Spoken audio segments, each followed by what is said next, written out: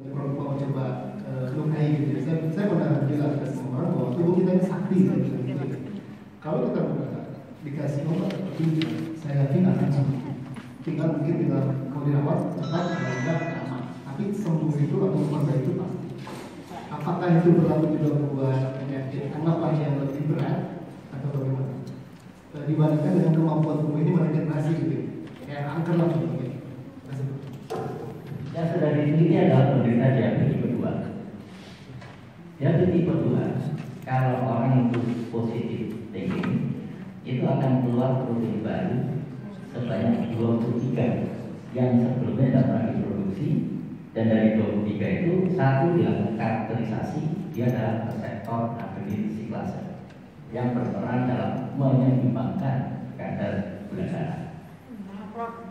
boleh pelan-pelan ya Prof. Oh iya.